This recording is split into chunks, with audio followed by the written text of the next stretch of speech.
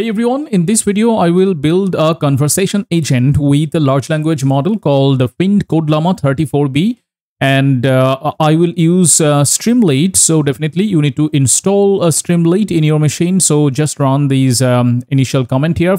pip install uh, Streamlit and also you definitely need Transformer. So you need to install that as well.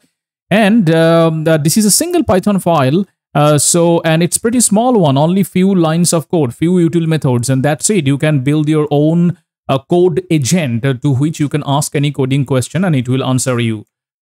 And to run this entire uh, uh entire Python file, that is to launch the Streamlit uh, app in the browser, all you have to do is run this single command in the same directory, that is Streamlit run app.py. And app.py is the name of this Python file. So whatever the Python file, you just replace uh, this with that. And the first uh, method I use here is uh, this one, uh, load models. It is a very simple model. That is, it is uh, only job is to load the model. So I include it in within a try uh, and except block. So a model is uh, whatever the base model that I have defined here at the config. And in this case, I'm using this one, this GPTQ version of the model. And otherwise, it's a standard boilerplate configuration that is uh, device map, auto, trust remote code false, and etc. Tokenizer also the same tokenizer for the base model. And uh, one particular thing is that um, Streamlit provides uh, provides a powerful uh, caching uh, handling mechanism whereby you can uh, implement caching and make your execution faster. But you can ask that why I'm not using the cache resource method from Streamlit to load the model because sometimes um, in GitHub or some other places you can see that this kind of load models are uh, included or wrapped within a context manager of uh, st.cache resource.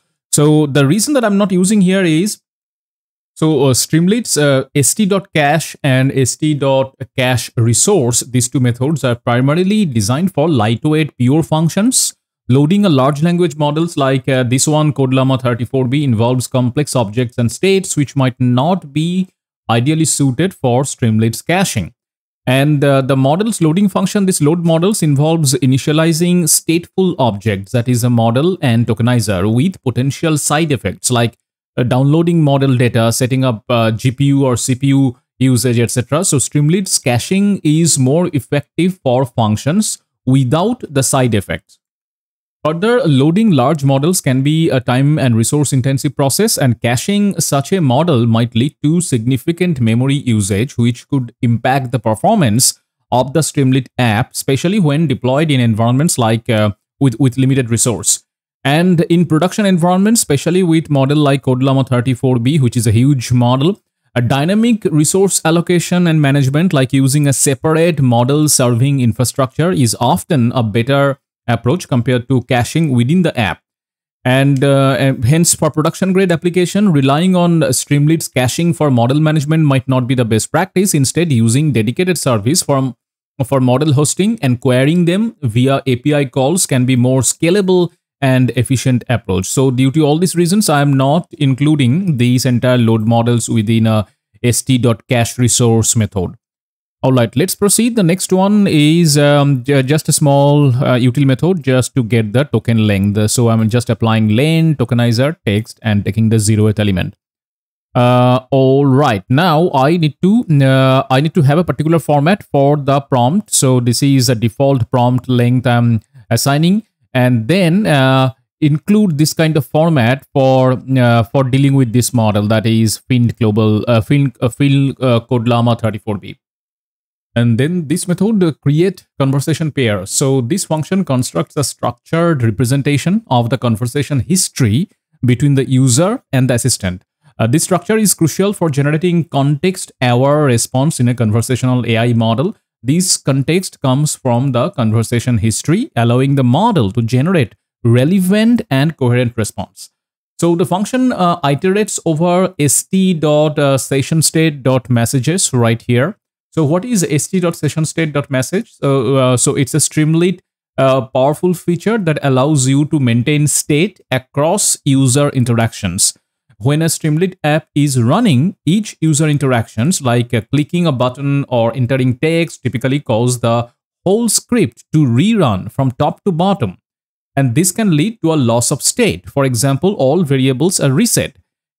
And to resolve that situation, we have st.session uh, state. And uh, so basically this provides a way to persist those values across reruns.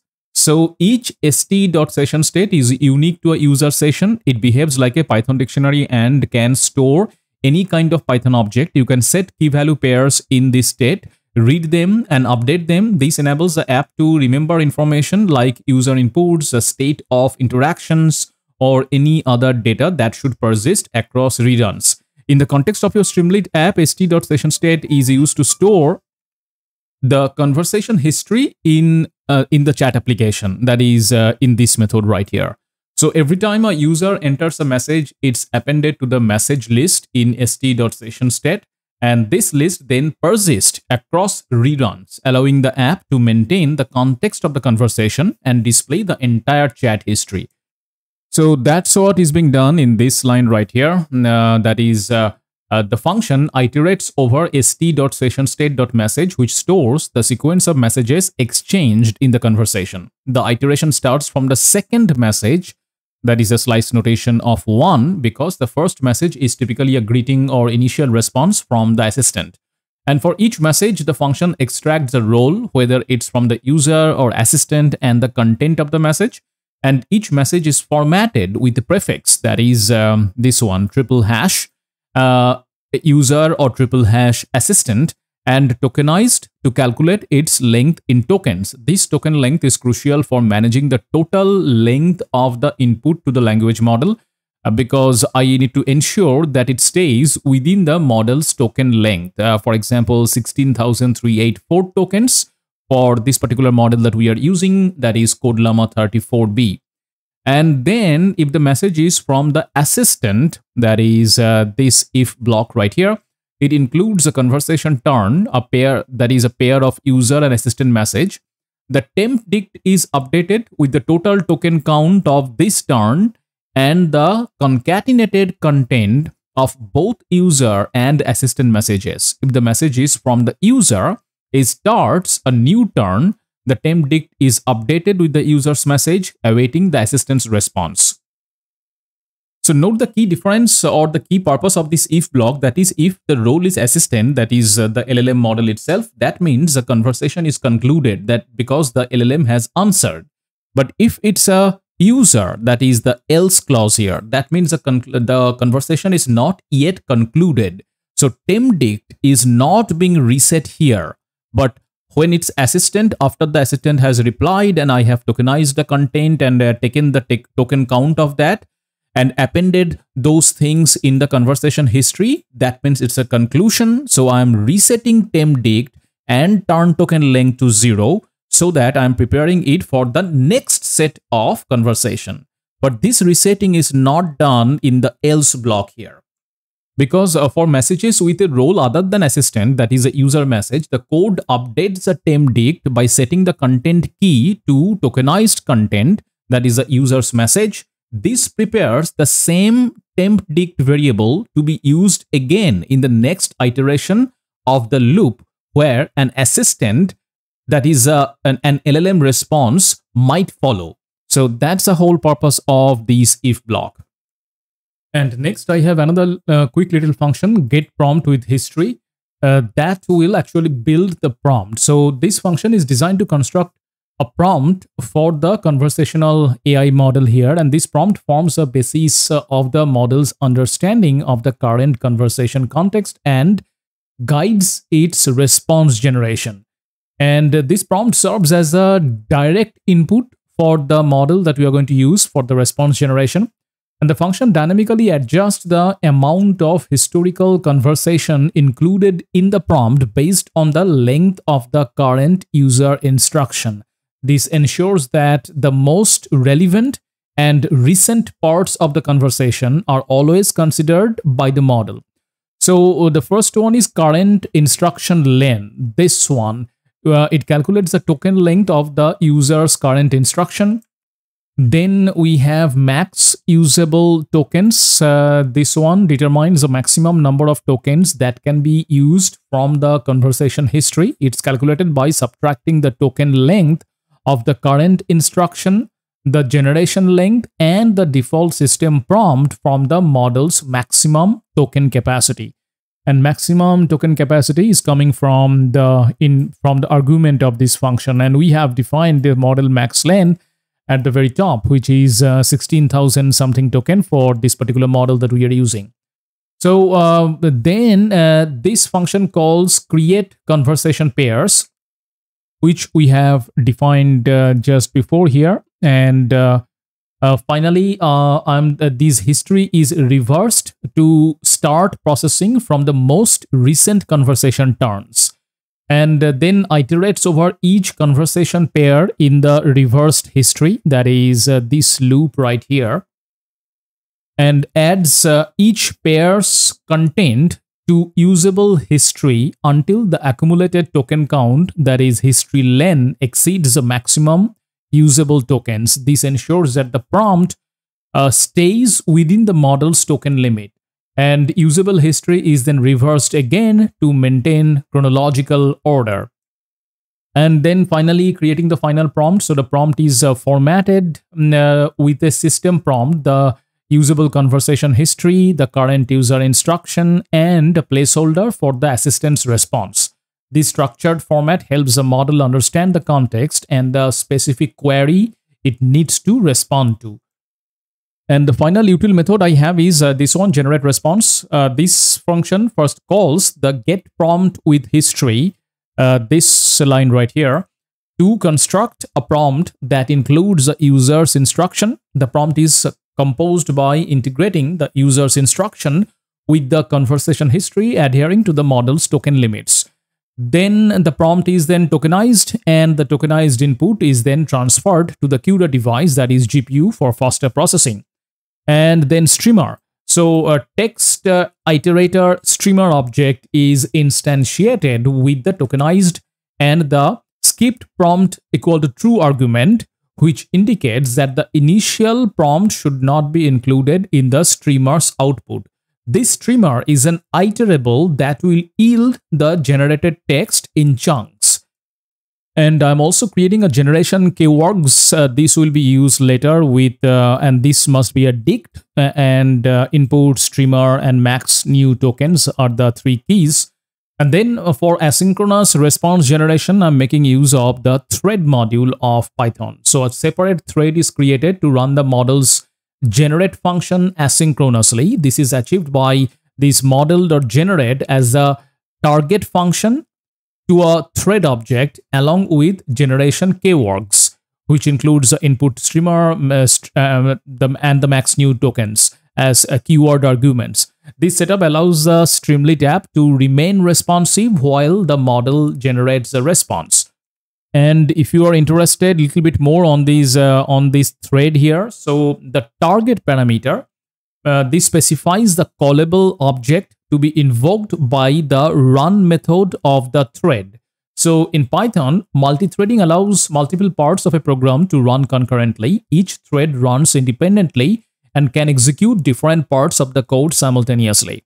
So when you create a new thread, you need to specify the function it will execute. This is where the target parameter is used.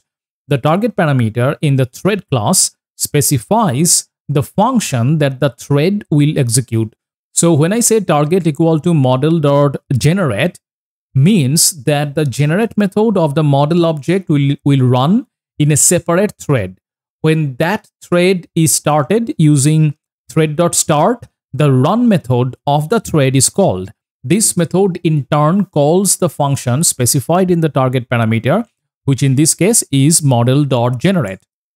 The arguments uh, required by model.generate are passed through the kwargs parameter, ensuring that the method has all the necessary information to execute properly.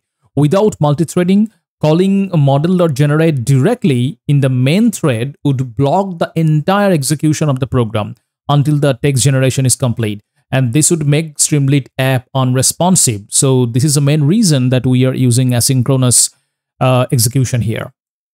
And after the thread is started, uh, the function enters a loop uh, with this block right here. That is, I have a context manager here, st.empty, and then idx new text, and I'm enumerating over the streamer object.